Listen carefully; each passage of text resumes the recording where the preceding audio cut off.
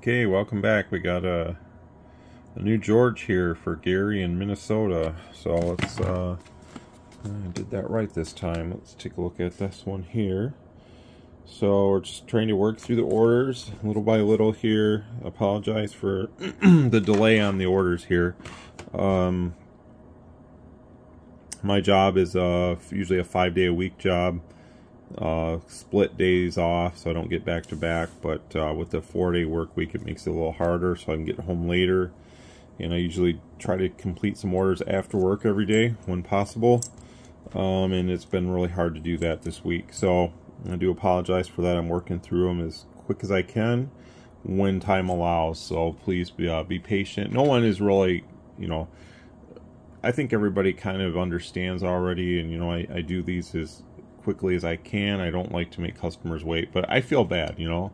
Um, I know when I buy something, like I've said before, I get excited, and it's a level of you know you you're waiting for your product and stuff. So uh, I'm right there with you. I enjoy using this stuff just as the as like anyone else. Honestly, I haven't even had a chance to really sit with one of these and actually use my own yet. So uh, I'm looking forward to doing that uh, once I get caught up and stuff. So sometimes my own enjoyment has to wait because I want these radios to get go out to the customers and uh, you know I'll always have time later to enjoy one of these for myself. So a um, little bit of testing I've done they work really good and everything. I've sat here and uh, listened to one for a while one day while I was working on some other stuff and I'm thinking I'm probably going to end up putting one like right here on top of the unit end base or something it's going to go like right up here. And probably just hook like an external speaker up to it or something. That way you know the speaker is underneath. So anyways, that's enough about that. We're going to get started here with Gary's radio. Okay, Gary, got it all set for you here. So just a little quick adjustment and everything's working good. So come up here to the power meter.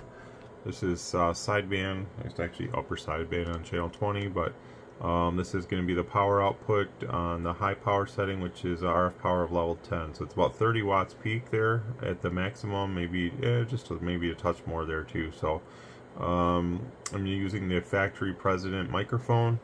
This microphone here is what I'm talking on, one of my own here that I just plug in, and that's that's what the radio does. So it's pretty impressive, you know very uh, impressive radio for uh, just a regular CB radio. There's uh, nothing that ever has come close to this before, so that's good. Um, so if you look at the if you look at the front of the radio, you're going to see the power indicator. It's not always going to fully extend over to the right. That's kind of normal with these. Um, yeah, I wouldn't be too alarmed with that. You know, it's not a a free moving like uh, you know every time you speak you're gonna slam the corner over there but you can see at times it does so um, we'll go to the RF power setting here. When you TX you just press the button. So I'm gonna drop this down to like level one okay? So that's the low power setting. So even on low power here you're still gonna get like five watts out of it. Well, that's good. Um, and then let's say at like level five so at level 5 here, it's going to do about half the power, maybe just a little more than half. So still really good. So if you don't need it all the way up, I would run it a little less. It's not going to hurt anything. Uh, let's plug it in and look at the two-tone here. It looks really nice with these. So there's that. Looks awesome. And then this is on uh, the spectrum analyzer, so right on channel 20. I mean, it's just absolutely outstanding. So there is no uh, noticeable distortion at all with these. I mean, the it, it is so clean. This is like an HF radio right here. You're getting the quality sideband of an HF radio in a 40 channel CB, and that to this point we've never seen something like that. So this is outstanding. Um, that's why I want to use one of these for myself for CB because I I'm just like wow um, and the things that I see that impress me may not impress other others because they don't have the ability maybe to see these things. But uh, yeah, it's it's really good. So let's go back to AM.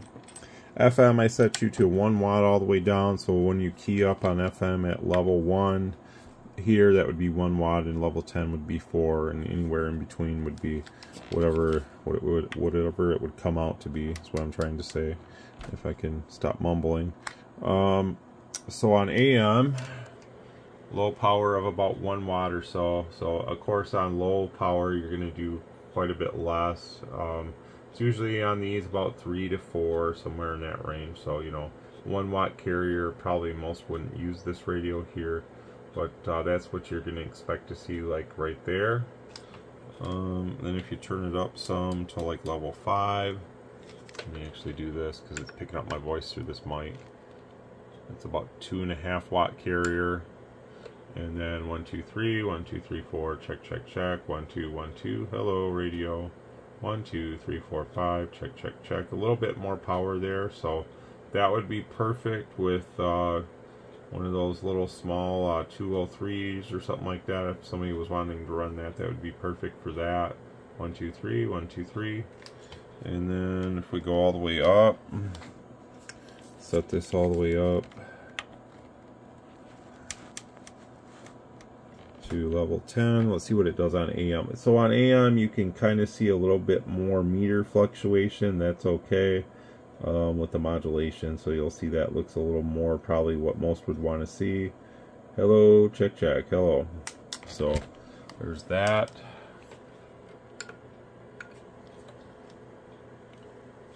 So it's just a hair over 4 watts all the way up. You can see on the average it actually jumped up to like 9 there for a minute. Um, go to the peak. So on the peaks here, when we speak with this President Factory Electret mic, we're seeing somewhere in the 20 range there, 24. So it's about a six time increase from the carrier. So these are very proportioned to the RF power again. Wherever the RF power is, that's about what you're going to see is, you know, the higher the RF power goes, the more peak watts you're going to see. And that's normal. That's how radio should work. So I'm not alarmed or anything by that. I think it's a good thing. So about 25. So these are um, a little bit more on sideband, which is good because I don't think too many would buy this if you weren't a sidebander because it is a good sideband radio. And uh, a lot of guys have said in the past that they were waiting for a nice President sideband radio. And uh, this is it. This is the one. So this is definitely the, the best one I've seen by President. Um, better than the McKinley's by a long shot and all that. Um, 980 doesn't come close to this, so I, I, really enjoy the radio. And that's just me testing them here on my test setup. I really need to still uh, set some time aside when I can get it to actually use one for my own personal enjoyment.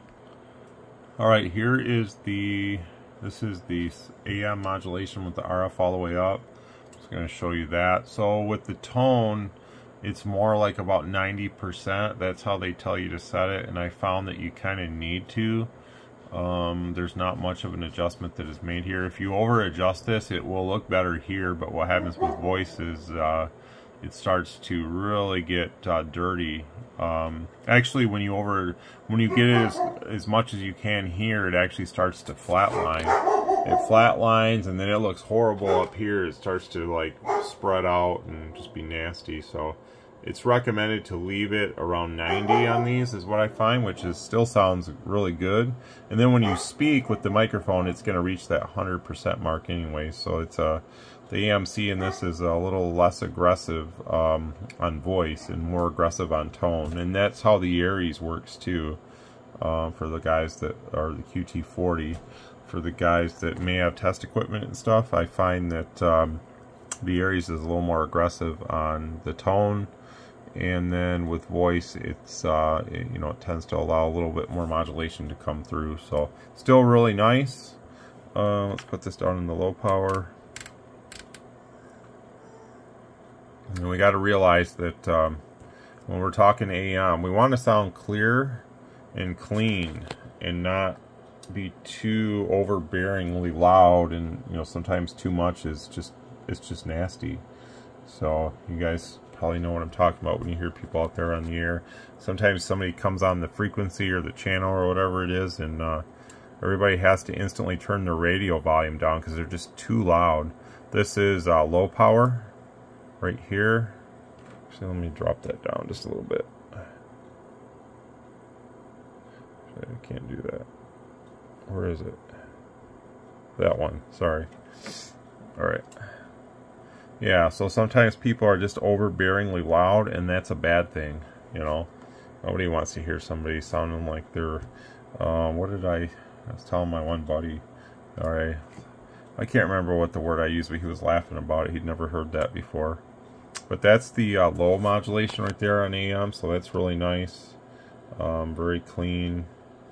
You're not pinching, you're not flat topping or anything. Obviously, you know, on the 10 meter models, you can get more audio out. Do you need more audio?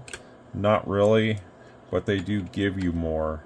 So, you know, I'm fine with what this radio offers. I think the power is perfect and this radio is going to be able to be used with more flexible options. Some of the 10 meter models and stuff like that, when you have that high level of power, they make them um, not as easily matchable to other things. And this radio doesn't have that problem, so it's going to match up well to some other external things and stuff like that if someone wants to use that. So it's all set for you, Gary. Um, not too much to really go over. Um, and I'm not going to really attempt to go over a lot more of it because I need to have personal use with these to really be able to say, oh yeah, you can just do this and do this. Obviously, I need to reference the manual right now, like what most of you probably will when you get these new. So until I get more uh, situated and actually sit and use this myself, the one that I kept for myself here, uh, I'm not going to try to demonstrate and show you guys a lot of the features because some of the things I'm still learning as I go. So appreciate the order there, Gary, and uh, we'll get this one ready to send off to you. And uh, I uh, got some more of these on the way. I think there's a few more orders I got to work through anyways, but uh, I do have another shipment on the way next week. So I think there's still a couple left right now here that aren't sold. So, yeah, we're going to keep these going for as long as I can. Hopefully, um, you know, this one will be a keeper for most of you guys and you'll enjoy it. And maybe think about going back to the normal style radio that, you know, we all used to use back in the day, like these kind of radios and stuff like this one. Um, it's just fun to use a regular radio for CB radio, I think. And you know, that's what we have here and uh, I think it's one of the better ones that I've seen in, in a long time. You know, keep the 10 meter stuff in the 10 meter genre and try not to compare what we have here to a 10 meter because you really can't because this is built for type acceptance. And 10 meter radios are built more for amateur stuff. So yeah they obviously have way more features because it's an amateur radio. And some 10 meter radios they abuse the fact that uh, they're they're calling it an amateur radio and ideally it really isn't because they don't have features that amateur radio operators would even look for or need they're just like um, AM and, and FM and you can clearly tell that you know it wasn't designed for an amateur radio uh, point of view so some of that stuff you have to fight through and avoid. You know, if you're not into that, then obviously avoid it. But, uh, you know, there's a lot of nice uh, 10 meter amateur radios out there. You know, the QT60 is a nice one. QT40 if you can deal with, uh, you know, learning how to use a radio without a dedicated counter, which really doesn't matter to me. Program it with the computer and stuff and use it as amateur radio. It works well and, uh, you know, go from there. So, enough of me blobbing on here a little bit longer than probably I should have made. Uh, I need to watch the time here because I'm about ready to go get my boy from the bus. So thanks a lot, Gary, and uh, 73, and we'll catch everybody later. Hope everybody has a good weekend.